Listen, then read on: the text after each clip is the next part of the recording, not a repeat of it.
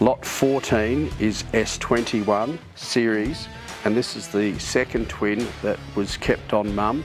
He's got a touch of white on his scrotum, and he's also missing the tip of his tail from an accident as a calf when his mum still on it.